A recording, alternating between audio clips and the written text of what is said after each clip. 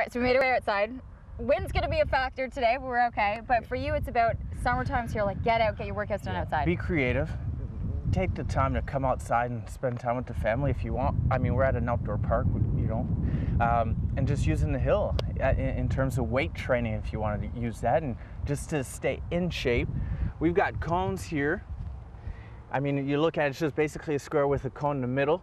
If you don't have cones, just use your imagination. I'm just basically gonna go up a little bit, come back down halfway, go up a little bit, and repeat the cycle. Okay. So using a hill is just gonna get my cardiovascular, my legs going You could spread it as wide as you want, as, as high wide as as you want. Just Some people have- obviously say, ah, the hill's kind of tough. Okay, so just make your square a little sm- smaller. And if you wanna make it longer, make it longer. So I'll just basically run up, come back down halfway, control the drop, push back up, and control it again.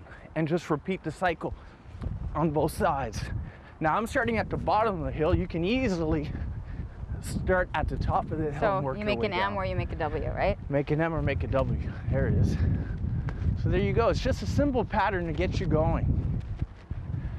And you repeating feel that though. cycle. I, I think people are used to either going up or down, but to combine the two, That's right. So it gives you a little bit of a break, but at the same time just gets you completely, completely out of breath yeah, in that a short worked. time. no kidding.